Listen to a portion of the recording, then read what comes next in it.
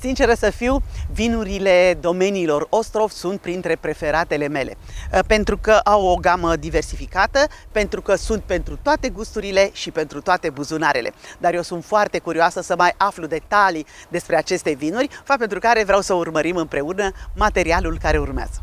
Hai, bună ziua, domnul Daniel! Bună ziua, bine ați revenit! Respect. Bine v-am uh, regăsit, v-am promis că o să revin Uh, la dumneavoastră pentru că mai avem foarte multe, sunt sigur că aveți foarte multe lucruri să ne spuneți despre sortimentele de vinuri. Discutam data trecută despre Poftiți. vinurile, despre roze, despre vinurile negre, îmi povesteați foarte frumos despre câteva sortimente și de alb. Haideți să detaliem acum pentru că este domeniul dumneavoastră până la urmă, nu? Încercăm să le punem în valoare pe toate. Nu domeniul dumneavoastră de activitate de la domeniile Ostrov. Exact. Nu vrem da. să supărăm pe nimeni, așa că trebuie să punem în valoare tot vinurile albe, cât cele roze, dar și, și vinurile de la domeniul vostru până la urmă, că pentru ele slujiți aici. Care sunt sortimentele de vinuri albe pe care le realizați aici, împreună cu colegii dumneavoastră enologi? Prin uh, dezvoltarea acestor uh, ferme de la domeniile Ostrov am încercat și a, s-a pus în valoare aproximativ toate soiurile posibile pentru acest teroar, pentru Podi și Oltina. Deci producem uh, struguri pentru vinuri de calitate superioară din fetească albă, fetească regală, crâmpoșie, cea tradițională. Sortimente pure sau cupajate? Și pure și cupajate, dar uh, și soiuri internaționale care sunt uh, foarte, foarte recunoscute, printre care Sauvignon Blanc, Chardonnay, Pinot Grigio, Muscat Tonel, și... Muscatul tonel pur sau folosit ca pentru cupaje? Nu, nu, pur, pur. Pe diferite calități gustative, tocmai pentru a pune în valoare soiul respect care este o bogăție a Dobrogei, dar mai ales a domeniilor Ostrov, eh, iubitorul de vin, eh, dar mai ales de muscat otonel, am o problemă cu foarte mulți iubitori de otonel. De ce? De ce probleme? Zice, nu, eu nu eu beau muscat otonel, eu beau decât otonel. Aha. Și atunci și cum le explicați, cum le, le detaliați, cum aceasta, îi convingeți până la urmă că e vorba de un otonel? Muscatul otonel, deci otonel. dezvoltat, deci plecat din uh, Georgia veche, a ajuns în uh, Egipt, Grecia și a fost uh, dezvoltat pe regiunea Muscat, unde a rămas pentru toată lumea, pe tot mapa mondo, uh, Moscato Tonel. Încercăm să-l punem în valoare și să facem această explicație iubitorilor de otonel prin degustarea directă a vinului respectiv, în care sunt plăcuți. Dar nu-l întrebați, uite, ce este muscat otonel sau otonel? Păi tocmai de aceea le dau să deguste, zice, acesta este. Păi vedeți, acesta e, a zis, în tinerețea noastră, da, asta nu e tonel, asta este... Nu, ce? aceasta este crâmpoșia tradițională. A, despre care vorbeați Despre care trecută. vorbeam și ne mândrim foarte mult uh, cu ea pentru că face parte din baza structurilor vinurilor românești, soiuri pure, fetească albă, fetească regală, dar crâmpoșia fiind unul dintre cele mai vechi soiuri plantate pe acest uh, teritoriu, pentru că are o structură tradițională, spune, rustică, dar plăcută, uh, atrage foarte mult... Uh, Ce anume de rusticitate?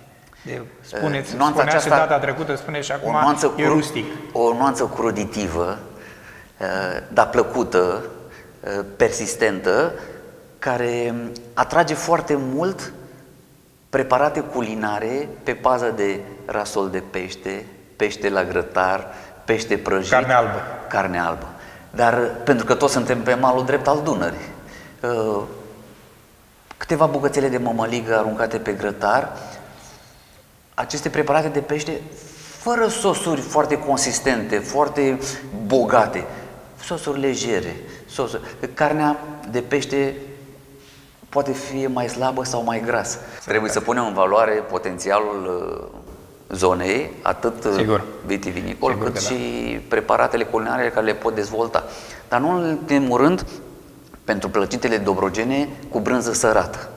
Pentru că preparatul la cuptor, poate chiar cuptor de lemne, aroma aceea de brânză proaspătă de Dobrogea, aroma de fum de cuptor pe de lemn și nuanța croditivă a vinului, plăcut, savuros, care poate fi extraordinar pus în valoare. E, asociați acest vin și cu produsele culinare și din alte zone, da. nu numai din Dobrogea. Numai, Sigur pentru că, că sunteți... peștele, peștele ajunge pe masa tuturor uh, restaurantelor, Corect. tuturor familiilor. Uh, dar cu timpul a fost pus în valoare tocmai de aceea și crâmpoșia tradițională, dar și crâmpoșia selecționată de care vorbeam data trecută, uh, a tras în sine nu numai preparatele de pește, dar și preparatele de fructe de mare, care le găsim ori pe malul Mării Negre, dar pe toate listele meniu din restaurantele și hotelurile din România, dar și peste hotare. Domnul Daniel,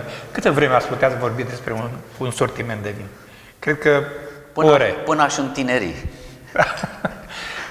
Spuneți-ne atunci și despre alt sortiment. Crâmpoșie, a zis de muscat muscat otonel. Da, muscat otonel uh, îl vinificăm uh, din punct de vedere al uh, cantității de zahăr rezidual, atât sec cât și demisec, dar mai ales demidulce. Pentru că um, potențialul muscatului otonel de Dobrogea... Cum? În ce varietate, în ce variantă își exprimă mai bine calitatea de otonel, de muscat otonel? Demidulce. Ori sec, la un gram de zahăr rezidual, uh-huh. în care el ca să ajungă acolo trebuie vinificat la o temperatură mai scăzută, să rămână în pieliță aroma, uh, în care papila gustativă îl va simți demisec, dar el, datorită exploziei, bogăției de arome a muscatului otonel, la un gram de zahăr rezidual, tânăr, proaspăt, răcit la 10-11 grade, e, e o plăcere. Să e înțeleg o... că dacă s-ar vinifica la o temperatură ridicată, își pierde din, din specificitatea lui, la din aromele sec, La vinul sec. La vinul sec. La vinul sec. Adică să rămână undeva, vinul sec, cum bine știm, e până în 4 grame de zahăr, 3,99 grame de zahăr rezidual. Dar undeva la un gram, maxim 2 grame de zahăr, unde rămâne sec, brut, cum îmi place mie să spun, cu bogăția aceea de arome specifice, floare de tei, miere de albină, uh, o nuanță de ananas. Uh, și lumea zice, nu, domnule, ai greșit, are aromă de muscat. Păi exact. muscat este. Tocmai de aceea el e foarte pretențios. Pretențios în procesul de... În procesul de tehnologie, dar e pretențios și la preparatele culinare, dar muscatul e pretențios în a-și alege și iubitorii de vin. Zice, domne, e foarte greu să-l înțeleg. Înseamnă că acest vin muscat otonel nu vă acceptă. Cum așa? Exact cum noi acceptăm sau nu acceptăm un vin, eu îi cant Bine. ca să-i înțep pe consumator, trebuie să, să găsești momentul propice și să-i determina să intre în profunzimea exact. caracteristicilor vinului e, respectiv. Pentru a fi atras de un vin, eu le spun invers nu sunteți pregătit acum, în acest moment, din această lună, pentru acest vin. De ce? O să-i găsiți momentul în care veți fi pur cucerit. și simplu cucerit de acel de, de vin. vin. Nu neapărat, pentru că fiecare vin are momentul lui. Mi-a zis de crâmpășie, de muscat otonel. Sauvignon Blanc. Iarăși. Ce vorbeam despre prietenul și colegul meu winemakerul din Chile, Miguel Garcia Leon. Uh, Enologul dumneavoastră. Exact. Uh, a folosit pe clon, pe mustuiala strugurilor Sauvignon Blanc din România, drojdii selecționate specifice Noua Zeelandă, Dro- specifice... Drojdiile astea sunt specifice soiului. soiurilor, fiecărui soi de vin. vin deci sunt, soi. sunt drojdii selecționate, selecționate special specific pentru... Fermentarea anumitor vinuri Sauvignon Blanc, anumitor vinuri Chardonnay, anumitor vinuri Cabernet Sauvignon, mm-hmm. Merlot, Pinot Deci nu e aceeași drujdie selecționată pentru toate sortimentele de vinuri. Dacă vrei să pui în valoare un soi cu o structură bine definită, un vin în care să rămână amprenta structurii soiului, a aromei, a gustului plăcut, și Miguel a reușit și a pus în valoare de 2 ani ă, În ultimii doi ani, Sauvignon Blanc a luat medalie de aur, atât la concursul internațional de la București, cât și la concursul internațional, Balcan International da, Vorbiți, mi-ați vorbit și data trecută și acum de atâtea medalii pe care le-ați obținut, obținut, le-ați obținut cu sortimentele de vinuri de aici. Câte medalii aveți? Cred că sute în atâția ani. Câteva sute. E de apreciat Acesta este, de reținut. Uh, exact. Ne mândrim cu ele. Uh, este rezultatul muncii. Bun. Trei sortimente de vinuri albe. Câte aveți de fapt? În total, albe, roze, roșii, undeva la 100 de sortimente, Oho. împărțite pe diferite categorii de vârstă, pure, pure și cupaje. și cupaje, pe diferite calități gustative, cum vorbeam mai devreme, venim în întâmpinarea consumatorului de vin, producem vinuri seci, demiseci, demidulci. Am intrat în această clădire și am uh, înțeles că este vorba de un muzeu și unde va fi cumva organizat o expoziție de vinuri.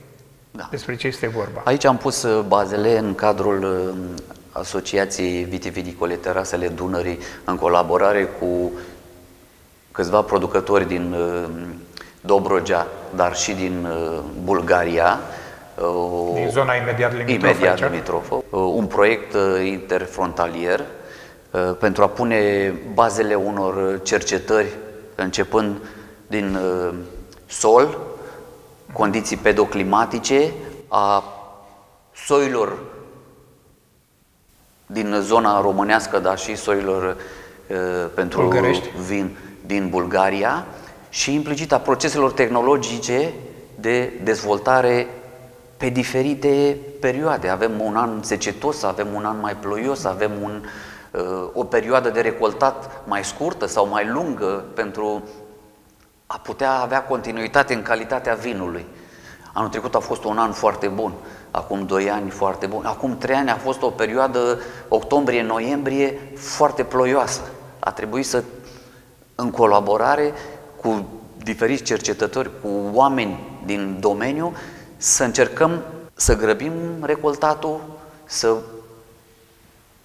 putem recolta struguri în uh, condiții foarte, foarte bune. Pentru că implicit... Uh, și înțeleg că uh, va fi aici un centru internațional, este finanțat, este o, e un proiect urmă, european.